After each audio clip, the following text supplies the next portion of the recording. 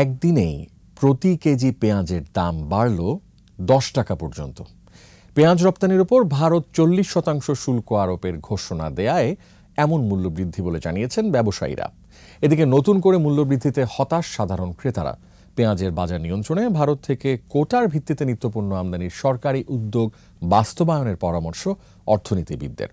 মেহেদি হাসানের রিপোর্ট। এমনিতেই ঊর্ধ্বমুখী ছিল পেঁয়াজের বাজার। পণ্যটির রপ্তানিতে ভারত চল্লিশ শতাংশ শুল্ক আরোপের ঘোষণায় আরও চড়ল দাম। রাজধানীর খুচরা ও পাইকারি বাজারে পেঁয়াজের দাম আরও এক দফা বেড়েছে।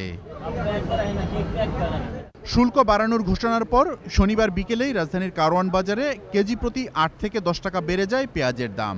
রোববার সকালে পাইকারি পর্যায়ে প্রতি কেজি দেশি পেঁয়াজ নব্বই টাকা আর ভারতীয় পেঁয়াজ বিক্রি হয় ষাট টাকায়।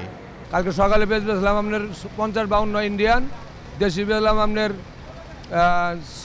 চুয়াত্তর বা ছিয়াত্তর আবার যেটা রাজশাহী করে গয় এটা বেচলাম আপনার চৌরাশি আশি। সোনাগিরিতে ব্যাট বাড়াইছে বর্ডারে বর্ডার বন্ধ করে দিছে। মালের আমদানি নাই এর লাগে দাম বাইরে আছে। এদিকে শুরু হয়েছে ভারত থেকে বাড়তি শুল্কে পেঁয়াজ আমদানি। তবে তার আগেই হিলি স্থলবন্দরে ব্যবসায়ীরা বাড়িয়ে দিয়েছেন পেঁয়াজের দাম। মূল্যবৃদ্ধির জন্য বাড়তি শুল্ককে দায়ী করছেন তারা। ওই পাশে যে শুল্কটা পরিশোধ করতে হবে সেটা বাংলাদেশি আমদানিকারককেই পরিশোধ করতে হবে আমাদেরকেই পরিশোধ করতে হবে। কত টাকা তারা ট্যাক্স বসাচ্ছে মানে কত টাকা প্রতি কেজিতে হবে এটা নির্ধারণ হলেই আমরা বুঝতে পারব বাংলাদেশে এর উপরে কত প্রভাব পড়বে। কালকে পেঁয়াজের বাজার ছিল পঁয়ত্রিশ ছত্রিশ আজকে সেই পেঁয়াজ পঁয়তাল্লিশ পঞ্চাশ পঁচপান্ন।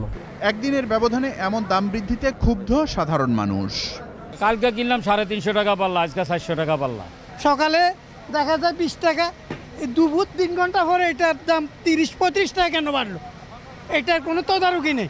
আমদানিকারকরা বলছেন সরকার ভারত থেকে নিত্য প্রয়োজনীয় বেশ কিছু পণ্য কোটার ভিত্তিতে আমদানি করতে চাচ্ছে। এ ব্যবস্থা দ্রুত কার্যকর করার পরামর্শ তাদের। আলোচনা শুরু করেছে ভারতের সাথে ভারত সরকারের সাথে। যে সাত আটটা যেটা সেন্সিটিভ প্রোডাক্ট ইনক্লুডিং পেঁয়াজ ভারত যেন দুটো জিনিস আমাদের একটা কোটা- কোটা থাকবে।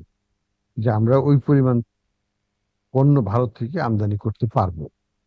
কোন রকমের এক্সপোর্ট বিধিনিষেধ সেখানে দেওয়া যাবে না বা দেওয়া হবে না। এটা এটা বাংলাদেশ সরকার চাচ্ছে। ভারত সরকার সেখানে কিছুটা নমনীয়তা দেখিয়েছে। কোনো কারণে ভারত থেকে আমদানি বাধাগ্রস্ত হলে সরকারকে বিকল্প বাজার ঠিক রাখতে হবে বলেও মত অর্থনীতিবিদদের। মেহেদি হাসান, একুশে টেলিভিশন, ঢাকা।